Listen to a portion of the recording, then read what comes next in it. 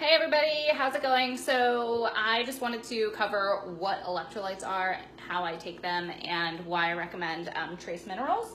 So Trace Minerals 40,000 um, volts electrolyte is my favorite.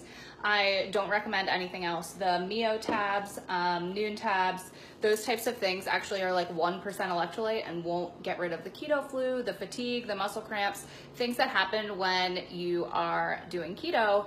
Um, they aren't really the best way to do that. And especially the Powerade Zero, if you've heard that before, that's a good way to do Electrolytes, you are 1000% being misinformed. That does not have barely any um, electrolytes in terms of what you need for micronutrients. And um, it's just really important to replenish these and stay on the course. So I use Trace Minerals. I will post this in the comments so you guys can grab that um, for yourselves. Um, but it's an amazing company. Um, I've spent extensive time with Dr. Starkey. He's an amazing mineralogist and naturopathic physician who developed this formula and it's the number one selling um, formula in the world and it's really cheap too. So um, this lasts a while as well. So the thing with electrolytes is you might have some bowel issues.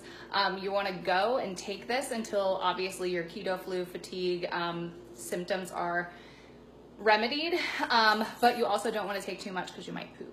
So that being said, um, just start slow. The bottle says to take um, I believe one third, trying to find it, one teaspoon um, or approximately 80 drops. Um, I take a half teaspoon of this um, a couple times a day. Again, really just gets my energy back up and um, just feel replenished. And if I have a muscle cramp, it gets, makes it go away in a few minutes, seconds. So um, I, yeah, I have a tablespoon here, shake it up the taste is not good. I'm gonna be very honest with you. I think it tastes salty. Some people just don't like it at all, but you don't take tequila shots because you like the taste. You get it for the end result. Same thing here.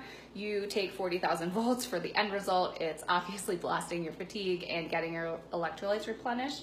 Um, but don't be scared. You can honestly do it. And I'm gonna do it here without uh, wincing and show you the easiest way to do it. So this is what I do. So electrolytes, I honestly don't usually eyeball measure, but I'm just showing you for, uh, I usually eyeball measure, but for instructional sake, I'm gonna go ahead and do it like this. So half of a teaspoon, tablespoon here um, in this rocks glass right here. So um, I'd say that's probably, I don't even know how many ounces. I am not a math person. I just go again on visual. Um, and then I use a half of a lime and then, yeah, so half in there like that, take it down.